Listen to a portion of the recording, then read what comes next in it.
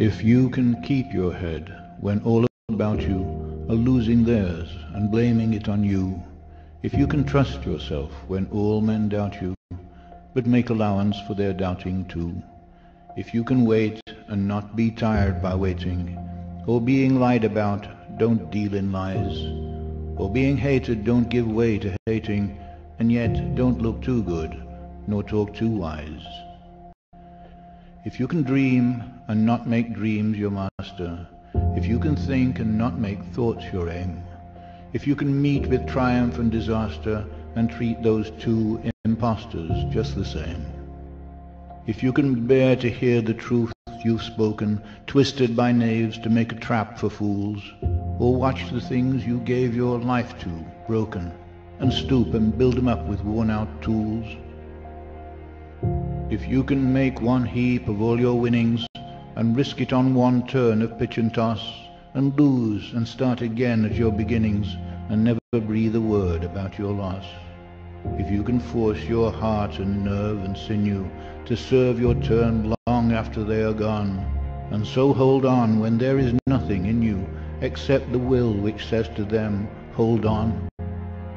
If you can talk with crowds and keep your virtue, or walk with kings, nor lose the common touch.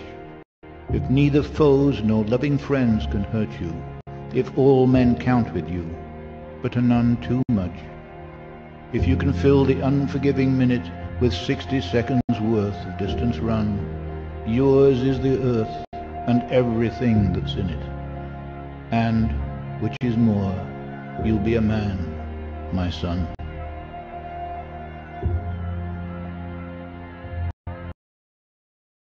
Attention, because this is important. It doesn't matter what you or anyone else thinks of Joe Biden. It doesn't matter that he can't stand up or walk three feet without falling down or shitting his pants. It doesn't matter that he can't string words together without bumbling and stumbling like the stuttering prick he is. It doesn't matter that he's a corrupt piece of shit who's been selling us out for the last 50 fucking years. None of it fucking matters. Because he's not running the show and never has been. If he dropped dead right now, not a thing would change. Not a single fucking thing. It doesn't matter what dummies on deck, because they're all the fucking same. Globalists, communists, give it a name. They all want the border open to flood this country with illegals.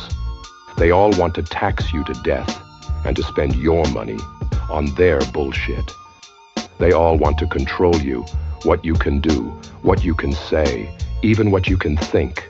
They all want to destroy the American way of life with wokeness and degeneracy. There's only one way to stop them. So you better make sure you and everyone you know is voting for President Trump like your lives and your kids' lives depend on it. Because the bottom line is, they fucking do. Well, this is a bombshell. Listen closely. We're getting new reporting about what's going on at the Biden campaign as we speak. Doug Kass, a hedge fund owner, a big DNC insider, just posted this. Quote, what I am hearing regarding Joe Biden, Ron Klain, that's the former chief of staff, and Barack Obama are having a sit down with the president today. Jill Biden is insistent that Joe's running. Kamala is furious that she is not being considered as a replacement. Whitmer and Newsom are. Interestingly, my neighbor in East Hampton is hosting the Bidens tomorrow. It will be an important tell if the fundraiser is canceled. Whoa.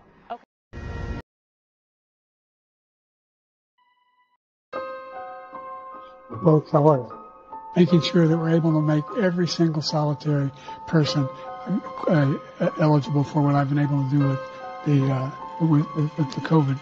Excuse me, with um, dealing with everything we have to do with uh, Look, if we finally beat Medicare, we find trying to provide housing for black Americans. The impact of on the the choice, the idea that they're gonna I'm not I'm proposing that everybody they pay the millionaires pay one percent, one percent. So no one after uh, I've not raised the cost of Social Security for anybody. I got my handicap which when I was vice president, down to a six. Uh, and wants to get away with, get rid of the ability of Medicare to, uh, for the ability to, for the us to be able to negotiate drug prices with the big pharma companies. The, I, what I'm going to do is fix the tax system. For example, we have a thousand trillionaires in America. I mean, billionaires in America. No one was hurt. No one Israeli was accidentally killed, and it, it stopped. And I'm going to continue to move until we get the total ban on the, the, the, the, total initiative relative to what we're going to do with more border patrol and more uh, asylum officers. This off, yeah. Sorry, that does it for us tonight. We'll see you again tomorrow. Just, I think I'm gonna have to hand this off. Yeah. Sorry.